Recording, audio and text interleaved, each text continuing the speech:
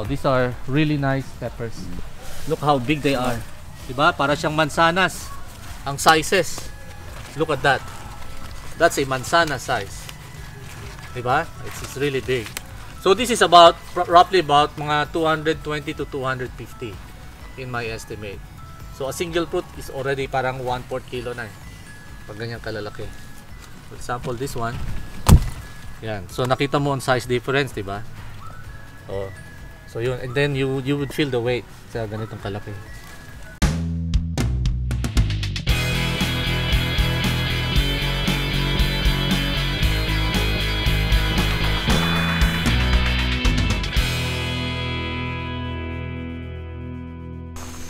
Okay, so uh, let's let's move to the uh, the drip irrigation where you can see the uh, bell pepper.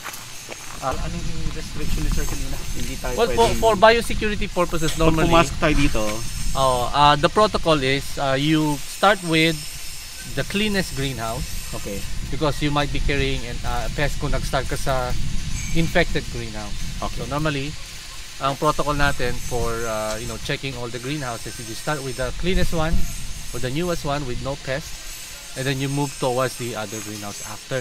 Mm-mm. And normally you have an anti-room naman. Sa yung anti-room that's where you kahit paano magpagpag, maglinis before you enter. So this is the what we call the vertical cultivation or the the vine crops. Nandito tayo ngayon. Sa greenhouse na to.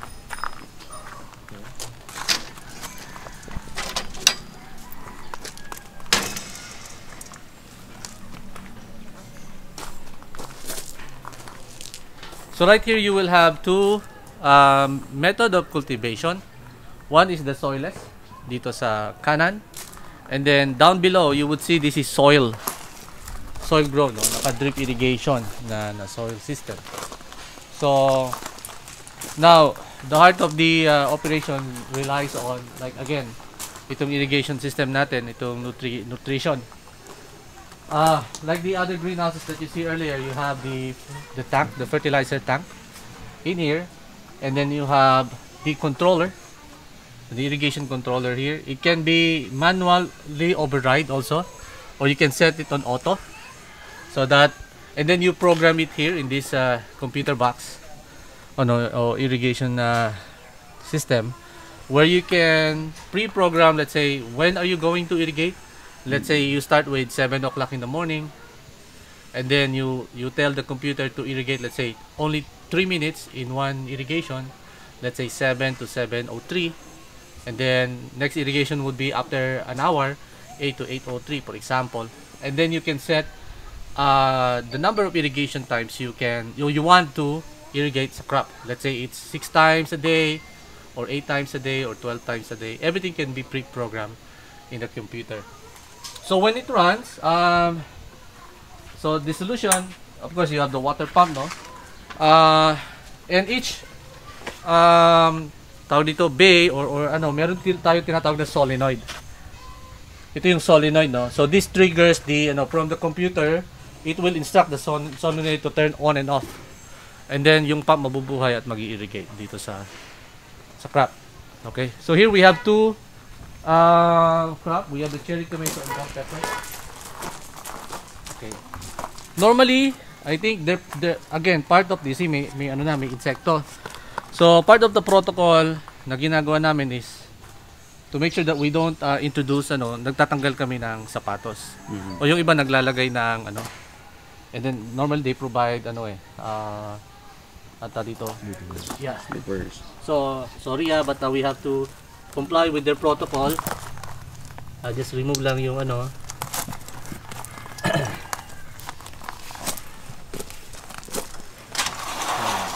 Now we can, you can use the sleepers. Yan.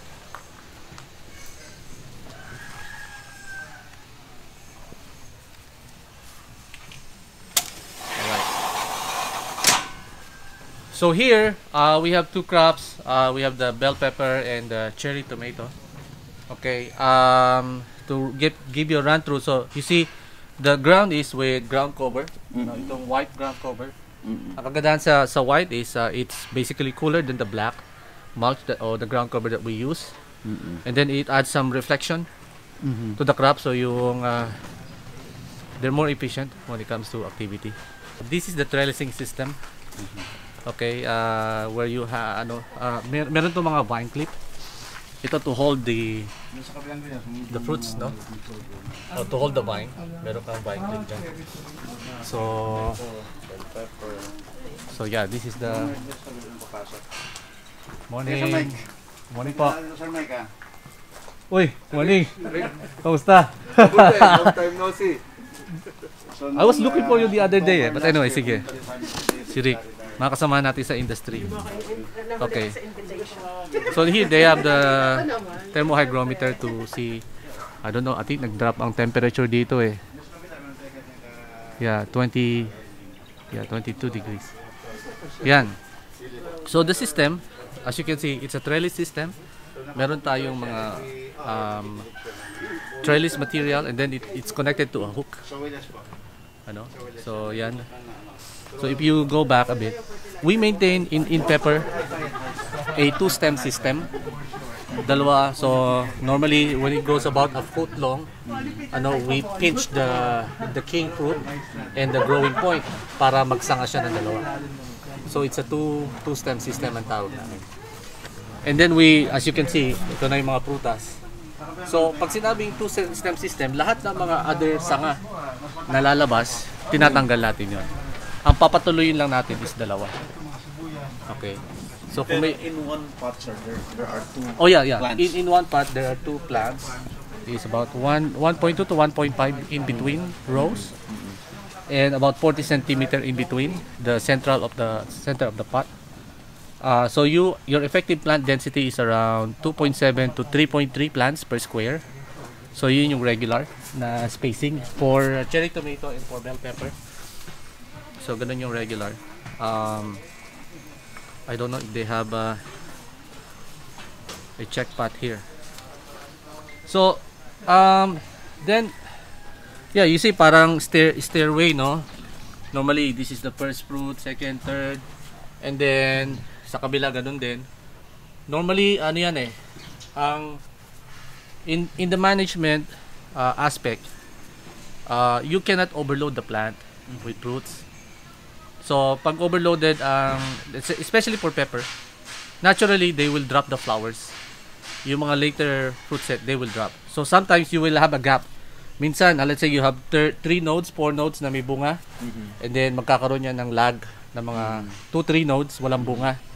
So magkakaroon ka ng production gap. Ganun na nangyayari. Especially if it's overloaded. But through nutrition, that can be more or less controlled naman. And yung management natin, ano. So what is important for pepper is you must have enough density sa leaf, especially for the growing fruit. Kasi pag ah, manipis ang dahon, nasusunog ng araw. Tinatawag nating sun scalding ang mga prutas. Imagine mo ang ang profit mo, ang ah, revenue mo nanggagaling dito sa prutas eh. So masunugan ka ng isa o dalawa per plant because of the heat. Then ang laki ng losses. Kung 50 peso isa halimbawa ng prutas, no? You're you're losing a lot of money on it. So yan, you're looking for um you know, the crucial part here is yung management ng pest and disease. Ano kasi one, whenever you prune, for example, ito may ah, may sugat, 'di ba? May sugat 'yan kasi tinatanggalan mo ng dahon eh. Normally we paint it with uh, disinfectant or maybe copper-based fungicide to uh, protect the entry of the diseases doon sa sugat. So yun ginagawa natin. Sir, how many fruits you're going to maintain per plant? Normally, The whole life cycle. uh, for the whole life cycle, pepper uh, crop cycle in the Philippines is around, kami kasi in days kami nagbibilang, no? 150 to 180 days, which is roughly about 5 to 6 months ang cropping cycle. okay. Um, ang conservative benchmark namin for fruit production is around 1.5 to 2 kilo. Some some grower will argue that they can reach 3 kilos. Ha- I'm happy for them if they can do it. But in reality, uh, if you can get 2 kilo, that would be good enough. And 2 kilo, mabilis naman ang bilang namin. Per kasi- fruit, how many grams? Yun, ang per fruit kasi ranges from kung maganda ang production. Siguro I'll show you the sizes sali kayo para makita nyo how how you can measure. May nakita ako dito sa kabila eh. For example, uh, itong mga fruit size na to, I, I would assume this is about 180 to 200 gram. Mhm. And then this is about 120 to 150. So if you can get like big ones na mga 200, 250 grams, then you're good.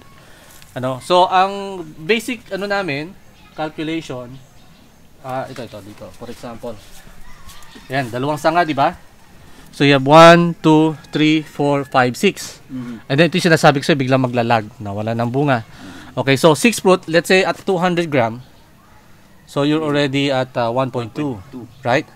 So if I can hit uh, 10 to 15 fruits per plant, then I'll be happy with it. Ano, so yun yung benchmark namin, yung conservative benchmark. Ano, we always count the number of fruits. As you can see, this one naman is bearing good uniform fruits eh. Okay, maganda naman ang fruit setting, di ba? Pantay-pantay. And all the load is is here. Napansin nyo, sabay-sabay sila naglalag. So that means, um, kailangan natin suportahan yung plant when it comes to strength and power. Ano, ibig sabihin, we have to, like for example, this one, okay pa naman siya, but I think it needs more thickness sa dahon. So we can boost it up with nutrition and irrigation. Normally, at this fruit size, nakita nyo to, di ba? It would take about 30 days to 35 days before harvest. So then we know, okay, for example, ang last namin ay halimbawa, nandito na tayo, itong maliit na to, okay, and this is already at 140 days. Sabihin natin, na- for example, no, 140 days na yan, so sabihin natin, we count another 30 days for it to mature. Mm. So then 140 plus 30, we're gonna hit 170 days before we finish the crop, for example. Kung talagang malalaki pa yun sa taas. 2 to 3, if you can really hit 3, I would be happy Mm. for, for the pepper. But we normally work on a conservative estimate Mm. para you don't over forecast or you don't expect too much Oo. out of the crop. Kasi ang ano namin, you hit the bottom acceptable yield which makes profit for you. On top of that yield is already bonus, for Bonus. us. You can cure yung problem na nag naglalag siya Yeah, yeah, yeah. nutrition. Okay, nutrition and then yung fruit harvest management. Kasi ang tendency ng iba, syempre ang ito green pepper. Mm. Ang market would be green, red and o kung yellow variety yan, yellow, Mm. 'di ba? So, um pag red pepper kasi, you use more power. Meaning the plant uses more energy to build up the ripening. Mm. So that means may tendency na i-concentrate niya lahat ng nutrition dito sa baba, yung yung ripening fruit. Mhm. So may iwan yung sa taas. Mhm. So ang gina and then ang, ang tendency pa ng ibang grower, papahinugin lahat muna bago harvestin. Aha. So you can set a harvest maturity index naman eh. Like for example, if it's already 70% ripe, Mm. 80% ripe, hindi na namin hihintayin 100% ripe kasi mahihinog din yun sa palengke o sa ano eh, Mhm. sa market eh. So doon pa lang i-unload na natin yung fruits. Kasi pag in-unload natin doon, it will give the opportunity for the the nutrients fruits. to build up the biomass ng next fruit. Mm. So ganun ang ginagawa natin sa uh, management. Mm. Ano, and at the same time, we will support like for this stage we will support it with uh, feeding more of the potassium needs of the plant. Okay. Ano because potassium helps in, you know, nutrient absorption. Ano, uh, and lessen the nitrogen because if you have too much nitrogen then the leaves Sobra may become too soft Mm. and then it will drop the fruit as well. So if Okay. you overdo the man the, the leaf, uh, the the nitrogen, then it will drop the fruits. And then at the same time, you see here you have the flower, no? We make sure that the flower, if you can see, tata ayan, ayan, yung pollen na nalalaglag na, di ba? May powdery na lumalabas. So that's a good pollination. If you if you have too much nitrogen, sometimes this flower will be too big Mm. and the embryo will be too big. Tapos maghihiwala yung pollen o yung anther doon sa pistil, yung female part. So pag nag-separate silang ganun, hindi ma-pollinate. So nagkakaroon ka ng deformities. So then that this is also our way of telling if we're doing the nutrition right or not. Kasi if the flower is too big, akala nila ang ganda kasi maganda malalaking bulaklak. Uh, then we it tells us that we are feeding too much N, for example. If the flower is too small, then then you already know that you're not doing the right nutrition. So, but this is just right. Okay? Eh, pakita ko na siguro. Eh, miyad, pipitas ako ng isa. Okay? So, yan. You see this, uh, this is the anther where the pollen is. And then in the center, you have the pistil. Yun, yun, yun. So, dapat yan, kung nakaganyan yung pepper, pag sinake mo, yung mga pollen, dapat mag-touch dun sa pistil para mabuo. Ngayon, kung ang embryo, alin ba embryo? Ito, ito, ito. Yung, ito, itong part na to. Is masyado mataba, naghihiwalay kasi yung anther sa pistil. So, hindi na po pollinate na maayos. So, that's what I meant by, ano, trying to gauge the health of the plant. So sir, Okay. when when's the time na dapat marami kang nitrogen? When is the time na marami kang uh, potassium ba? Yeah, yeah, yeah. Or So we balance the ratio of nitrogen and potassium and calcium as well. Um, normally, uh, the crop has different stage of development or growth stages. So at the beginning, you will have the what we call the vegetative stage, where you build up. Unang-una, actually, for us, we ang una namin ginagawa is to build up the strong root system. Okay. That's the most important one because you have to build the root biomass before you can build the shoot biomass. Okay, so root system muna. Uh, at the, the beginning of the seedling stage, we make sure that the root goes down deep in the substrate by controlling the irrigation. Okay. If you dry up the first, let's say 2-3 inches of the, On the the top. s- on the top, the root's tendency is to find moisture, so it goes down. the bottom. and then it uh, and then you strengthen it ano so if you're done with that and then for that we we have you know uh, more or less a balanced ratio of NPK ano yung standard rate na ginagamit uh, more on P actually on that time and N and calcium calcium is very important for the strength Okay. uh, we balance that out and then when we are already sure that we have established a good root system then it's about time to pay attention to the shoot growth yung vegetative which is about uh, from transplanting mga 30 days old to about 50 days no? Before the first flower uh, sets. So in that portion naman ang ang goal namin is yung pepper plant should have at least ang diameter ng puno ay ba parang sing size ng lapis o ng ball pen. Kasi if it's too thin that means oh no we are not gonna get a good plant. So we make sure that we provide the right you know proportion of N calcium and then with the traces. Uh, and magnesium also. Magnesium is very important. To make sure that they grow thick. And we make sure that the leaf expands at the beginning from the 30th day to about 45 50 days. And then once it reaches once we see the flower setting um, then we will switch the nutrition to you know to a higher K uh, ano uh, recipe to help the plant uh, you know in terms of yung translocation ng mga nutrients from the from the drip feed to the to the surface. But again those are dependent on the climatic in ano uh, uh, environment you know because the absorption also depends on the temperature and the humidity eh. if it's too humid and too hot they shut down. The stomata closes they don't absorb. So and then we have to figure out when they feed at what time of the day and what time in the afternoon? And when they shut down. So we also manage kasi yung ano drain o yung yung amount of uh, irrigation water that comes out. It should not be too much. Like if it's 50 70% uh, drain then that means it's oversaturated na. Ang ugat mo nalulunod na. So we have to maintain like 20 30% drain para makita mo na maganda yung tubo ng halaman. At saka maginhawa ang paglugaw ng ugat to support. Kasi ang kailangan natin yung support system eh. Uh, externally we can do it ang support system natin through nutrition and irrigation. But in the plant system it's the roots eh. So you must have that powerhouse yung root no? Uh, to to bring in to deliver lahat ng nutrition dito sa halaman. So may mga ganong klase na ano? When's the right time to do the pruning? Okay, pruning starts when um tawag dito, when they produce the first king fruit o king flower, yung pinaka first flower kasi the architecture of a pepper plant hindi ko alam kung mapakita ko sa iyo kasi medyo mature na to, no. Normally it will grow a single main stem.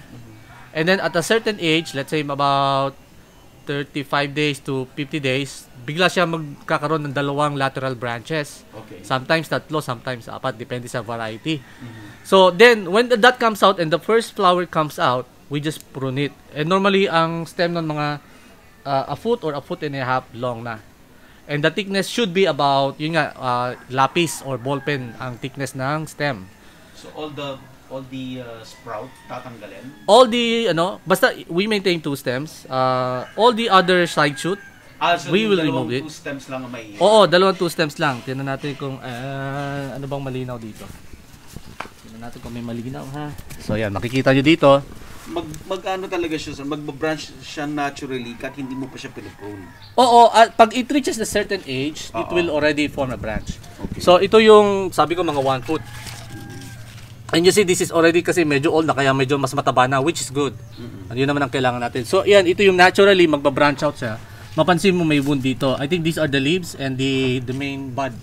So tinanggal yung bud para ma ano ma-concentrate ito. Then every time na doon tayo nag-start mag-pruning, ano? So every time na may mag-grow na ito Lateral mga branches, ano tinatanggal yan so that all the nutrition goes to the fruit. Okay. Okay, ganun yung ginagawa natin eh. So, uh, I don't know kung meron ditong bulaklak pa eh. We'll see if... Tingnan natin kung... Ayan, ito. Halimbawa, ito mga to, no? O, ito na lang. Kita nyo ito, tatlo, di ba? So, you have... Ito, tanggal lahat. Ito, ito. Kasi may lag again, no? So, yan. Dito, you have to decide which one are you gonna maintain. Okay, since this one has a fruit, ah, a flower, I would probably remove... Ay, oh yan, nalaglag na. So, but then again, it's buo na eh. Kita nyo? Ibig sabihin na pollinated na yon. So, what I would do, kasi kita mo ito yung continuation ng other stem. Oo. Ito yung main stem mo. Oo. So, what I will do is, I will pick this out. For example, ha. Ako, yan, ganon. Para yung pupuntang pagkain dito, didiretso na doon sa growing fruit. Ano, and then you continue forward. Kasi may susunod na uli na bulaklak yan dito eh. And then you remove the other stem. But normally, we don't remove it too early like this. Kasi ito, mapansin nyo, meron pa ditong bulaklak, di ba? Tatanggalin din namin yan. Pag ganon. Pero ngayon, it's too early. Kasi, I don't know kung mabubuo ito. So what I'll do is I'll wait for this to pollinate also. So kung alin man sa kanila ang nabuo, then saka ko tatanggalin yung isa. Okay, yung ganong klaseng mga technique. So para continuity, see, dito naglag dito ng tatlong node eh. Ito na yung kasunod. And then you have another two again coming out. So tuloy-tuloy na siya. Kasi nag ano kami noon eh, nag ah, standardize kami ng tawag dito ah fruit setting index. Ang ibig sabihin nun, anong size nung newly pollinated fruit ang kailangan namin i-maintain para sigurado kami mabubuo yun. So may pea size, may mungo size. So nag-decide kami sa pea size o corn kernel size halimbawa. So pag ganun ang kalaki, saka namin ipuprune yung iba. Pag yun ay mungo size pa lang, hindi pa namin muna ipuprune kasi may tendency ma-injure o ma, ano, mag-drop din yung isang ano, yung yung pinapa-fruit set mo. So, gaano kataas to, sir? Pag na, na Oh, it can reach up to about yung- 6, 7 feet or 8 feet. Aha. In in the, in the Netherlands, they can reach up to 10, 12 feet. No, but in the tropical setting, hindi natin naaabot yung ganong kataas because sa kanila kasi they can harvest up to 10 months, 12, minsan a year pa eh. But 8 to 10 months ang harvesting nila eh because of the nice cold weather and the long day. Kasi when you have a, you know, longer day, sila produce lang ng produce eh. Luto lang ng luto ng pagkain, grow lang ng grow. Eh dito sa Pilipinas, we have short day. So limited ang sunlight natin.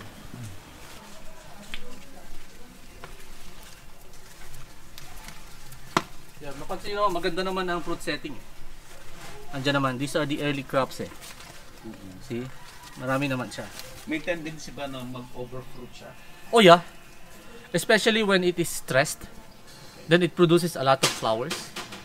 Uh, and then sometimes you will have a ano tawag dito? A surge of fruit at the bottom. Ano, minsan sobra-sobra. Tinatanggal namin iba. You have to manage it. Like for example, in one one node, may dalawa sila o tatlo, tatanggalin namin yung dalawa. Maintain one lang. Doon sa node. Otherwise, it's ano, kawawa yung later fruit production, hindi lalaki. Hindi nalalaki. Oo. Mababansot siya. Yan. And then you here you can see, 'di ba? So when you drip, then you have the ito yung mga feeding, yung spaghetti tube. Yeah, you see it here. And then you have the drain. So yung drain na 'yan, normally there's a rain uh, uh, a nutrient catchment tank sa labas. And then yung nakita niyo yung mga outdoor drip line ni Emmy kanina, doon niya pinifeed yung nutrient na nade-drain. Ano? Kasi sayang eh. If you're getting about let's say 20% drain and you're feeding let's say uh, ang ang fertilizer cost mo per greenhouse is let's say 200,000, 20% of 200,000 is uh, what? Uh, 40,000 pesos ang tapon, di ba? Sayang yung 40,000 mo per cycle. So pinapad ano na lang 'yon. Pinapadilig na lang sa mga herbs, sa mga halaman sa labas. Kesa itapon mo. Sayang eh. Kaya that's why we also manage the drain. Kasi if you have too much drain, you're wasting a lot of nutrients. So, ganun naman yung ano doon, uh, istorya. So, this is, uh, I would say, uh, ano tawag dito, um, initial fruit setting. Mm. Ano, for the pepper, and then you have the almost middle fruit set na doon sa tomato. Mm. Ano, later on, we will see yung talagang mature na. Mm. Yan. Again, this is uh, 3 plants per square, palagay na. If you're getting um, 2 plants per plant, ah, 2 kilos per plant, so you're looking at 6 kilos harvest per cycle. So, parang ganon. If it's a 100 peso, that's uh, 6,000 ang gross. Kung 100 peso mo ibibenta. If you can sell it more than that, then why not? Okay. So, yun. So, yan. Nandito tayo sa parang more or less sa may commercial greenhouse ng turbulent drip sales, no? Where, we, where they have the, yung talagang medyo mature na na crop ng bell pepper and tomato. So, halik kayo. Tuloy tayo.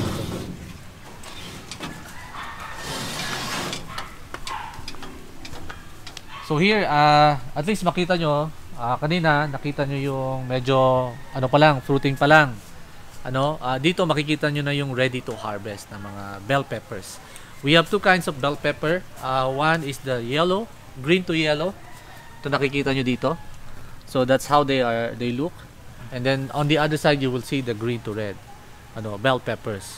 So, um, dito naman, um, normally we harvest at uh, kasi, okay they are mature uh, green sila pag hindi pa mature and then they normally turn color and becomes yellow when they are already mature ang harvesting index natin depende sa market sometimes we harvest it pag 70% yellow na or sometimes 80% yellow in other market they want it talagang parang full yellow so maybe we harvest it at uh, 90 to 100% uh, yellow color ang ang bell pepper. Um, siguro we let me see if I can show you one of it. Let me see here ha. Okay. Yan. So ito yung uh, magandang quality no ng bell pepper. This is uh, what I would say average size. This is about 180 grams. But they can grow as big as uh, 250. Ano, may makikita kayong malalaking bell pepper dyan tulad nito. Oh.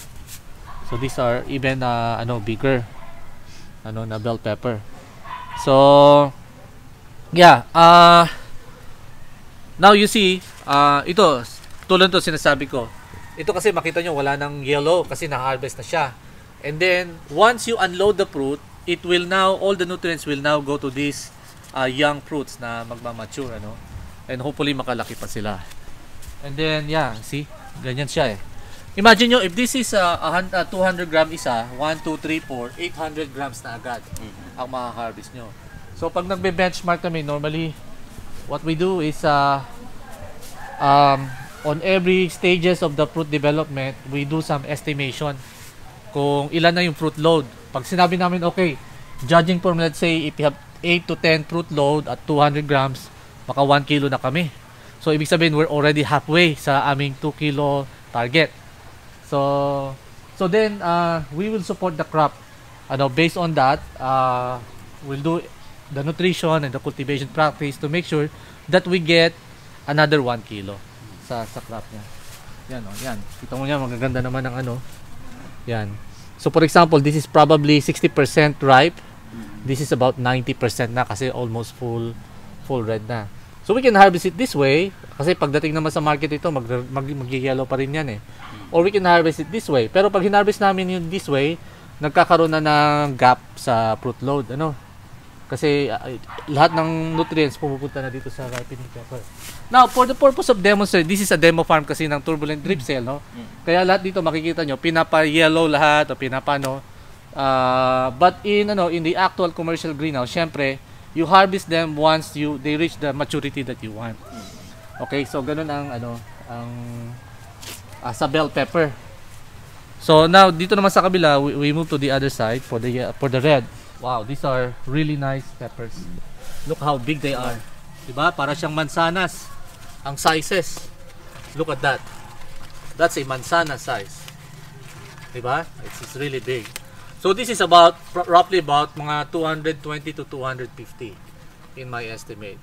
So a single fruit is already parang 1 4 kilo na. eh. Pag ganyan kalalaki. For example, this one. Yan. So nakita mo ang size difference, 'di ba? Oh. So yun, and then you you would feel the weight sa ganitong kalaki. So yeah.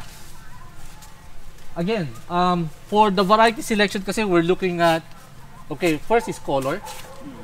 Um because the market wants it the more red it is, the deeper red, the brighter red, the better for the product presentation sa sa store. And then we're looking for varieties na medyo shallow ang shoulder. Ang tawag namin dito yung balikat, yung shoulder, no? Kasi if it's too deep, then sometimes pag nabasa, nag-iipon yung tubig, nabubulok. So we want something that is shallow shoul- shoulder. Hindi masyadong deep. And uh, normally we want a square bell pepper. Pag sinabing square, you have 1, 2, 3, 4 lobe. Lobe ang tawag doon, no? 1, 2, 3, 4. Ano? So this one is also 1, 2, 3, 4. Mer meron kasing tatluhan. So but this this variety, I think this is Red Jet uh, from Rex One Seed and this one is Taranto.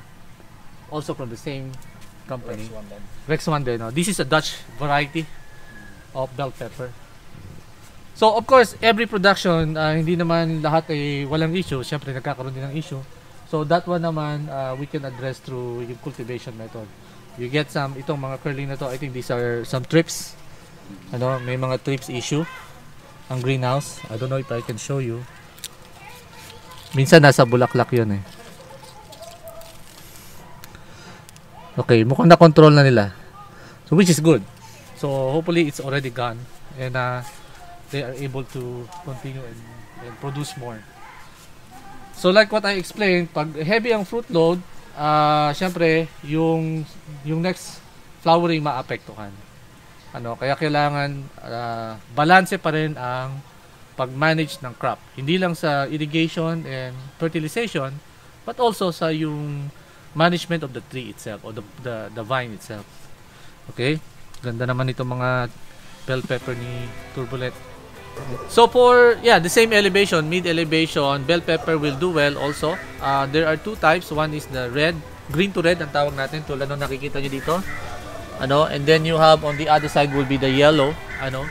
Um, they are both saleable. They are they are valued very well in the market. Uh, in terms of growing, I would say uh, together with cherry tomato, uh, they can be grown easily with the right skill set. Uh, but be worried about pest lang because uh, uh, bell pepper seems to be more uh, how do you call it uh, susceptible to some of the sucking insects like thrips and mites. And that that you have to watch out for. Whitefly you have to watch out for also. They can be a profitable crop given the right setup, the right irrigation, the right structure, the right cultivation, ano, and the proper management. So yun lang naman yun eh. Uh, yeah, uh, I, I guess uh, for those who really wanted to venture into it, there's still a market. Ano, uh, if they want to explore the, the, the greenhouse production for for vine crops like these two, uh, for sure there is enough market to to be tapped. Ano, especially ngayon na talagang very in demand ang mga vegetable with the pandemic. Yeah, and they're very nice uh, salad crop. Yeah, would be nice to serve as a, a health food.